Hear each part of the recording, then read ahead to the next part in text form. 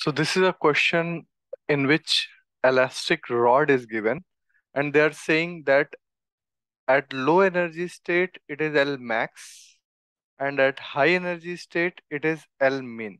Okay, so kind of opposite it is given that at low energy state L will be take taking its maximum value and at high energy state L will be taking it minimum value. Okay, so we don't have to bother about that. We just have to see what will be the probable graph of equilibrium length and temperature. So obviously at very low temperature, if I consider it like a two level system, suppose I take it as minus E and E as two level system corresponding energies.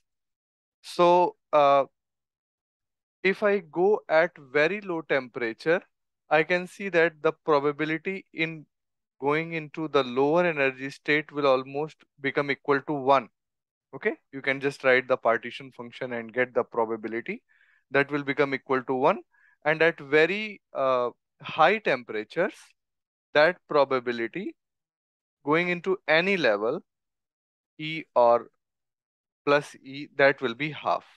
Okay, so that means when temperature is very low, it will have the value L max so it will be here. And when the temperature is very high, because probability is half, so it will be just taking the average value, P1 L minimum plus P2 L maximum. That means half L minimum plus half L max.